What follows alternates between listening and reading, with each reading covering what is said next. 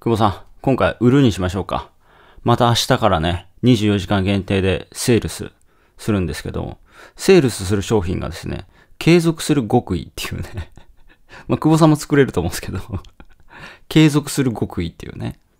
継続できない人に継続する方法を、えー、売るっていう話ですね。これ何かっていうと、お金稼ぎましたっていう、こう、こうやれば儲かりますよっていう方法じゃないですよ。継続できない人に継続僕はできてるので、継続する方法を、あの、レクチャーするっていうね。これ何かっていうと、なんだろうな。うん、自分ができて他人ができないことってあったりするわけですよ。例えば字が綺麗とかね。字が汚い。僕字が汚いですから。これ習字の先生とかいるじゃないですか。どうですか？習字が綺麗に書ける。で、これから習字が汚い。習いたい。えお金もらってますよね。どうですか？あと、ダイエットができない。僕はダイエットしなくてもいいんですよ。ね。その、あの、食事性、1日1食2食ですし、そんな食わないので、太らないんですね。だけど世の中には我慢できない。食べちゃう。た、あの、太っちゃうっていう人がいいますよね。その人にダイエットのやり方を教えるっていうね。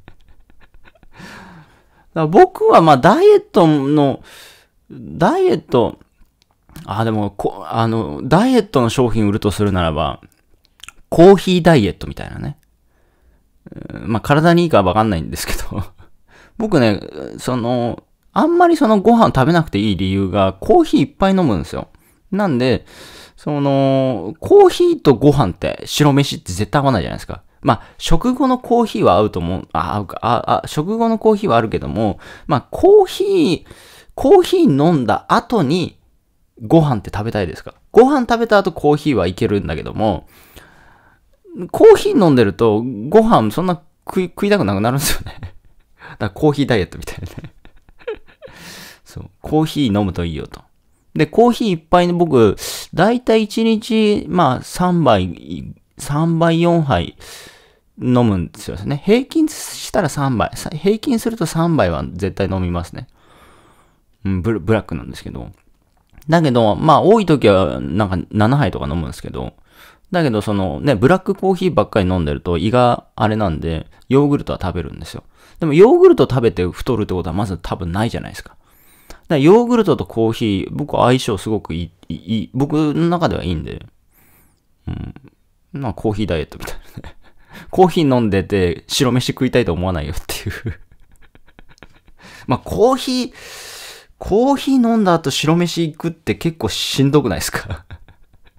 ちょっと想像しただけでちょっと、うん、みたいになりますけどね。うん。そう、コーヒーいっぱい飲むといいと思いますね。腹減ったらコーヒー飲むっていうね。そしたらもうご飯受け付けないと思いますけど。そう。まあだからまあ、なんだ？うん、まあいろいろなんか探せ、探せばあると思うんですよね。例えば、例えばでしょ？じゃあ YouTube やりましたと。じゃあ、これから YouTube を始めて、YouTube を1ヶ月やりましたと。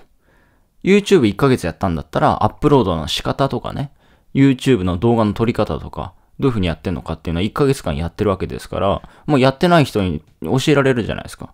じゃあ YouTube のやり方講座売れますよね。やってない人に。ペルソナ、これから、これから YouTube を始めようと思ってるあなたへと。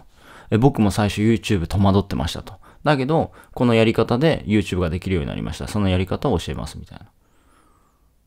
だから、なんか、ちょっとでもやれば、やってない人よりゆ、ゆ、あの先生になれるじゃないですか。だや、やれば先生になれるっていうね。要は、やってない人に売ればいいんで。今回の商品も継続できない人に売るんで。そう。で、ほとんどの人は継続できてないんで まあ、これ結構ずっとロングで売れ、売れる商品ですね。ほとんどの人は継続できないから。僕は継続できてるんで。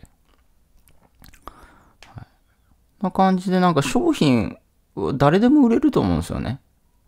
だって誰でも売れる理由って、誰もが初心者や、これから始めようっていう人がどの市場にも、どの市場でもいるわけじゃないですか。